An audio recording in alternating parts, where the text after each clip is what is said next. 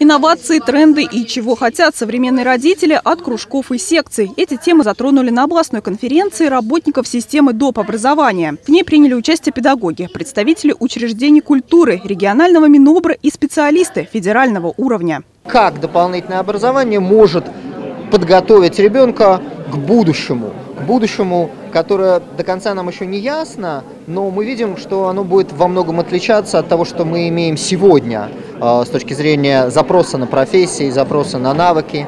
Это актуально для Самарской области и в свете реализации нацпроекта образования. Благодаря ему в учебных заведениях региона появляется современное оборудование. Создаются условия для занятий проектной деятельностью во внеурочное время. У нас э, уже на сегодняшний день достаточно высокий охват услугами дополнительного образования детей э, и свыше 78% развивается и дистанционный способ обучения, дистанционный способ подачи материалов, сетевое взаимодействие образовательных организаций дополнительного образования. Вот это вот для нас очень важно. Завершилась областная конференция работы в группах. Каждый участник мог высказать свое мнение о том, по какому пути должна развиваться система доп. образования. Дарья Зотова, Алексей Гриднев, Новости губернии, Тольятти.